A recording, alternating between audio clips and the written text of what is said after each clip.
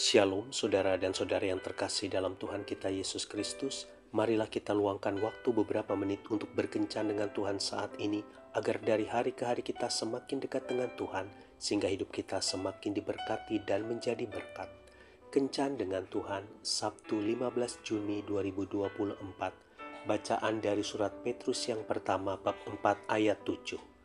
Kesudahan segala sesuatu sudah dekat, karena itu kuasailah dirimu dan jadilah tenang supaya kamu dapat berdoa. Demikianlah sabda Tuhan, syukur kepada Allah. Saudara dan saudari yang terkasih dalam Tuhan kita Yesus Kristus, seseorang pernah berkata, "Kalau aku bekerja dan mendapatkan uang yang banyak, maka hidupku akan lebih bahagia." Tetapi benarkah banyaknya uang dapat menjamin kebahagiaan seseorang? Tidak jarang orang menyalahkan uang. Uang itu jahat, Uang itu menggoda manusia untuk berbuat salah. Uang itu bahkan merampas kebahagiaan manusia. Tetapi benarkah demikian? Bukankah sebaliknya, uang bisa menjadi sarana bagi kita untuk mencapai kebahagiaan? Sebenarnya, masalahnya terletak pada cara kita mengelola uang dan menguasai diri untuk tidak selalu memenuhi semua keinginan kita, karena manusia cenderung untuk selalu menaikkan standar hidupnya di saat pendapatannya naik. Kalau dulu kita sudah merasa puas dengan mengenakan baju seharga 200 ribu, sekarang kita baru merasa puas kalau mengenakan baju seharga 500 ribu. Kalau dulu kita hanya memakai barang-barang kosmetik yang murah, sekarang harus yang mahal dan bermerek. Inilah kenyataan yang ada. Manusia selalu ingin mengikuti perkembangan yang ada.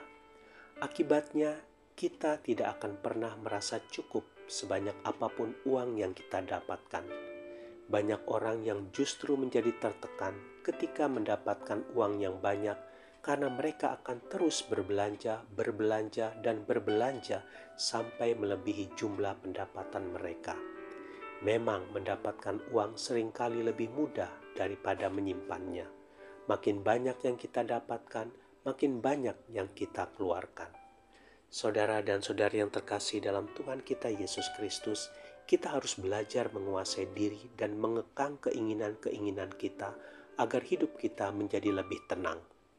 Kesudahan segala sesuatu sudah dekat, karena itu kuasailah dirimu dan jadilah tenang supaya kamu dapat berdoa. 1 Petrus bab 4 ayat 7 Bukan berarti kita tidak boleh memiliki barang-barang yang bagus atau tidak boleh menikmati kehidupan yang lebih baik, tetapi ingatlah, jangan sampai upaya untuk menikmati hidup yang lebih baik justru akan mengorbankan kebahagiaan rumah tangga kita.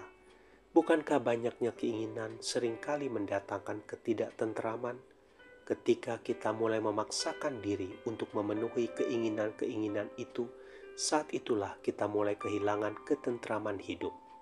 Sangatlah penting untuk menguasai diri karena jika kita terus mengendalikan hasrat-hasrat kita dan hidup dalam porsi yang sesuai, maka di situlah kita akan menemukan ketenangan batin. Tuhan Yesus memberkati. Marilah kita berdoa dalam nama Bapa dan Putra dan Roh Kudus. Amin.